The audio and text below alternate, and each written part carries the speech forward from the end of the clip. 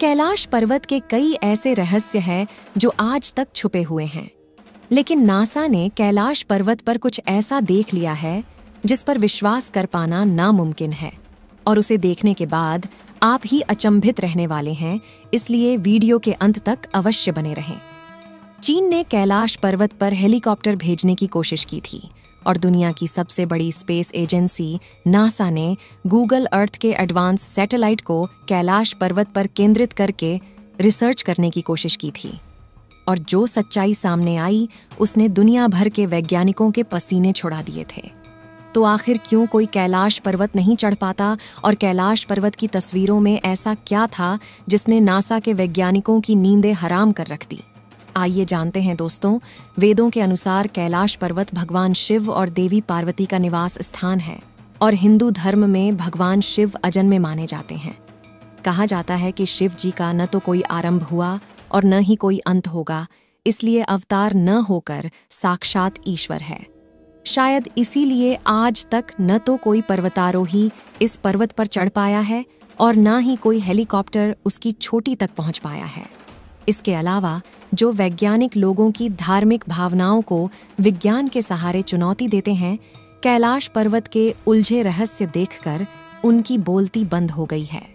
वैसे तो हिंदू धर्म की पौराणिक मान्यताओं के अनुसार, कैलाश पर्वत भगवान शिव का निवास स्थान है और वो आज भी अपने परिवार के साथ कैलाश पर्वत पर रहते हैं। इसके अलावा शास्त्रों के अनुसार, कुबेर की नगरी भी कैलाश पर्वत पर ही स्थित है। वहीं चीन के तिब्बत में रहने वाले बौद्ध धर्म गुरुओं का ऐसा मानना है कि कैलाश पर्वत पर बुद्ध भगवान की अलौकिक रूप में दम चूक रहा करते थे। वहीं भारत के जैन धर्म के लोग की मान्यता है कि उनके प्रथम तीर्थंकर आरषभदेव को कैलाश पर निर्वाण की प्राप्ति हुई थी। यहाँ तक कि हिंदू धर्म के सबसे बड़े ग्रंथ महाभारत में कहा गया है कि अपनी बीवी द्रौपदी के साथ पांडव भाइयों ने भी मुक्ति के लिए कैलाश पर्वत की चढ़ाई की थी, क्योंकि इसे स्वर्गलोक का प्रवेश द्वार माना जाता है। इन सभी धार्मिक मान्यताओं को सुनकर आप तो समझ चुके होंगे कि कैलाश पर्वत इस दुनिया के सबसे पवित्र स्थानों में से एक है। इसलिए इस पवित्र स्थान पर आज तक कलयुग के श्राप से मनुष्य चढ़ाई नहीं कर पाते, और पर्वत की चोटी सिर्फ़ वही पहुँच सकता है जो आत्मिक और शारीरिक तौर पर आध्यात्मिकता के स्तर पर पहुँच चुका है, जिसके लिए इस दुनिया की मोह माया को त्यागना ज़रूरी है। कैलाश पर्वत का सबसे बड़ा रहस्य यह है कि जहाँ दुनिया के सबसे ऊँचे पर्वत माउंट एवरेस्ट की चोटी पर आज तक चार हज़ार से भी ज़्यादा लोग पहुँच चुके हैं, लेकिन कैलाश पर्वत पर आज तक कोई नहीं चढ़ पाया। कहा जाता है कि जो जिद करके कैलाश पर्वत पर चढ़ने की कोशिश करते हैं उनकी रहस्यमयी तरीके से मौत हो जाती है। कहा जाता है कि कैलाश पर्वत की चारों ओर अलौकिक शक्ति का प्रवाह है और कैलाश के आसपास तपस्वी गुरु आज भी टेलीपैथी के ज़रिए आध्यात्मिक गुरुओं से प्रार्थना करते हैं। कैलाश पर्वत वो जगह है जहाँ से गंगा नदी बहती है। वहीं यहाँ पर गंगा नदी के अलावा भी ब्रह्मपुत्र, सतलज, करनाली और सिंध नदी भी बहती है, जो सिर्फ़ भारत ही नहीं, बल्कि बांग्लादेश पाकिस्तान और चीन तक को भी पीने लायक पानी पहुंचाती है। आधुनिक रिसर्च हमें यह बताती है कि कैलाश पर्वत पृथ्वी के केंद्र की तरह काम करता है, क्योंकि यह उत्तरी ध्रुव और दक्षिणी ध्रुवों के बीच स्थित है। इसके चारों ओर सौ से भी ज़्यादा छोटी छोटी आकृतियों के पिरामिड जैसे दिखने वाले पर्वत मौजूद है, जिसके बीचों बीच कैलाश पर्वत खड़ा है, जिसकी छोटी छह हज़ार छह सौ अड़तीस मीटर ऊँची है। दूर से देखने पर कैलाश पर्वत का आकार बिल्कुल शिवलिंग जैसा लगता है, जो चारों तरफ़ बर्फ़ से ढकी हुई है। अनेक रहस्यों को खुद में छिपाए बैठा कैलाश पर्वत पहले भारत का हिस्सा हुआ करता था, लेकिन फिर सन उन्नीस सौ बासठ में चीन भारत पर अचानक हमला कर देता है और भारत की करीब तिरानवे हज़ार वर्ग किलोमीटर ज़मीन पर कब्जा कर लेता है, जिसमें तिब्बत के साथ कैलाश पर्वत भी शामिल था। इस तरह से यह पवित्र स्थल चीन का हिस्सा बन जाता है। कई वैज्ञानिकों के मुताबिक, कैलाश पर्वत पर कई कीमती धातुओं का खजाना मौजूद हो सकता है। इसलिए कैलाश पर्वत के इलाके में कब्जा करने के बाद, लालची चीन ने कई बार कैलाश पर्वत पर चढ़ने की कोशिश की। लेकिन चीन को हमेशा नाकामी मिली और लगातार मिल रही असफलताओं के बाद 2001 में चीन ने स्पेन और रशिया के साइंटिस्ट्स के साथ मिलकर कैलाश पर्वत पर चढ़ने की एक आखिरी कोशिश की, और वह कोशिश भी नाकामयाब रही।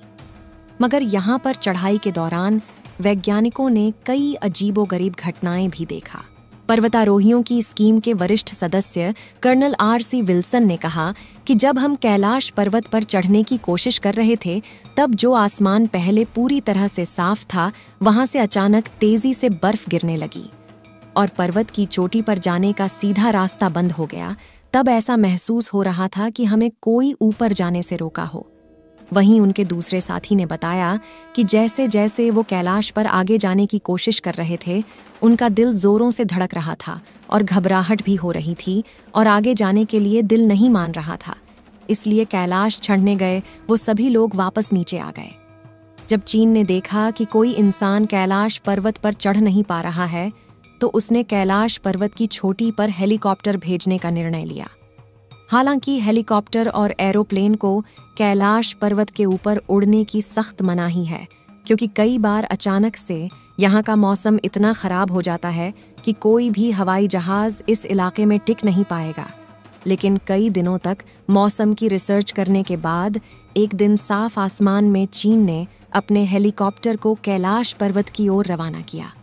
मीडिया रिपोर्ट्स के मुताबिक, हेलीकॉप्टर पर बैठे लोगों ने जब उड़ान भरी तो शुरुआत में उन्हें कैलाश पर्वत के मनमुक्त करने वाले सुंदर नज़ारे दिख रहे थे। उन्हें लग रहा था कि अगर सब कुछ इसी तरह चलता रहा तो वह कैलाश की छोटी पर अपने हेलीकॉप्टर को पहुँचा देंगे। लेकिन हेलीकॉप्टर में बैठकर जिन नज़ारों का मज़ा ले रहे थे, वह कुछ ही मिनटों में इनके लिए बड़ी सजा बन गए। जहाँ थोड़ी सी ऊंचाई पर जाते ही कैलाश पर्वत के वातावरण में कई बदलाव आने लगे थे। उन्होंने बताया कि जब ऊपर से कैलाश पर्वत की सतह पर देख रहे थे तो वहाँ कई बड़े बड़े हिमस्खलन दिखाई दे रहे थे। लेकिन ये तो कुछ भी नहीं था, क्योंकि ऊपर का माहौल और भी ज़्यादा डरावना था। दरअसल आसमान में इतने घने बादल थे कि मानो वह हेलीकॉप्टर को निगलने वाले हैं। मगर ये लोग हिम्मत करके अपने हेलीकॉप्टर को और ज़्यादा ऊंचाई पर ले गए तभी आसमान में बिजली कड़कने लगी और बर्फबारी शुरू हो गई। इतनी ऊंचाई पर हवा का प्रेशर भी इतना ज़्यादा बढ़ गया था कि हेलीकॉप्टर को कंट्रोल कर पाना बहुत ज़्यादा मुश्किल हो गया था। चीन के वैज्ञानिकों का कहना था कि माउंट कैलाश पर सभी दिशाएँ आकर मिलती है, जिसकी वजह से दिशा भ्रम में फंस गए थे। साथ ही इनके कंपास ने भी काम करना बंद कर दिया था, इसलिए उन्होंने अपने सफ़र को आधे में रोककर फिर से नीचे आना ही सही समझा, और तेज़ी से धड़क रहे अपने दिल को थाम कर वह धीरे धीरे नीचे वापस आ गए। यानी, अब चीन समझ चुका था कि इस रहस्यमय पर्वत पर चढ़ना उनके बस की बात नहीं है। चीन की नाकामयाब कोशिश को देखकर कैलाश पर्वत को लेकर अमेरिकी स्पेस एजेंसी नासा की उत्सुकता काफ़ी ज़्यादा बढ़ गई। और 2015 में नासा ने अपने सैटेलाइट को कैलाश पर्वत पर पॉइंट करके गूगल से और रिसर्च करना शुरू किया। और कैलाश का रहस्य देख नासा के वैज्ञानिक भी हक्के बक्के रह गए। कैलाश पर्वत निरीक्षण के बाद नासा के वैज्ञानिकों ने जो तस्वीरें साझा की, उसमें हमें कैलाश पर्वत की एक परछाई देखने को मिलती है, जिसे देखकर ऐसा लगता है, मानो को इस पर्वत की चोटी पर ध्यान की मुद्रा में बैठा है। और जिसे ज़्यादातर लोग भगवान शिव कहते हैं। वैसे तो इस बात पर यकीन करना काफ़ी मुश्किल है, लेकिन ये सभी तस्वीरें नासा ने खुद शेयर की है और आप चाहे इन तस्वीरों को गूगल पर जाकर देख सकते हैं। देवों के देव महादेव के घर, कैलाश पर्वत का वर्णन, हिंदू धर्म के वेदों में कुछ इस तरह किया गया है कि एक तरफ़ से स्पॉटिक दूसरी तरफ़ से मणिक और तीसरी ओर से सोना और चौथी ओर से नीलम से बना हुआ है। और यह धातु आज के समय में अमूल्य माने जाते हैं। इस रहस्यमय पर्वत से जुड़ा एक ग्रह से यह भी है कि कैलाश पर्वत के आसपास के इलाकों में ओम की ध्वनि सुनाई देती है और वैज्ञानिकों ने इस बात को स्वीकारा है। हालाँकि वैज्ञानिकों का यह कहना है कि ये ओम जैसी धुन बर्फ़ के पिघलने की वजह से आती है। वैसे आपको क्या लगता है, क्या वास्तव में कैलाश पर्वत भगवान शिव और माता पार्वती का निवास स्थान है, अपनी राय कमेंट में ज़रूर बताएँ। इस वीडियो को एक लाइक ज़रूर करें और अपने मित्रों तक इस वीडियो को शेयर करें, ताकि उन्हें भी जानकारी मिल सके। और अपने भरोसेमंद चैनल को सब्सक्राइब ज़रूर करें और बेल आइकन को ऑल पर सिलेक्ट करना बिल्कुल ना भूलें। मिलते हैं किसी और नॉलेजेबल वीडियो के साथ। वीडियो को अंत तक देखने के लिए धन्यवाद।